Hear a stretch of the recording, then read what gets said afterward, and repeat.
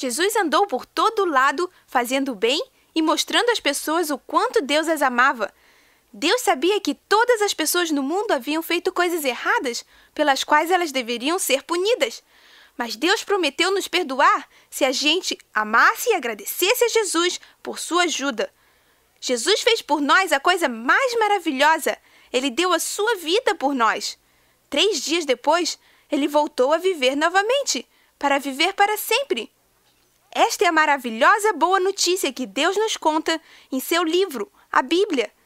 Se nós pedirmos a Jesus que viva em nossos corações, nós vamos fazer parte da grande e feliz família de Deus e poderemos um dia ir para o lindo lar de Deus chamado céu.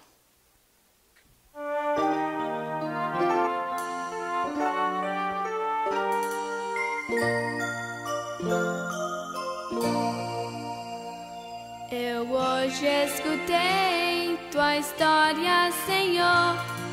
E eu acredito que o céu te enviou. Você foi criança também. E sabe o que sinto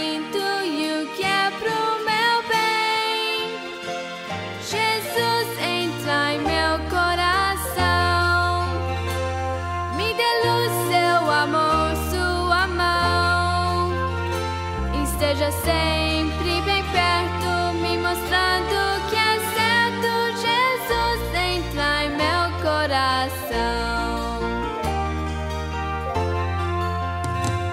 Você deu sua vida e curou com sua luz.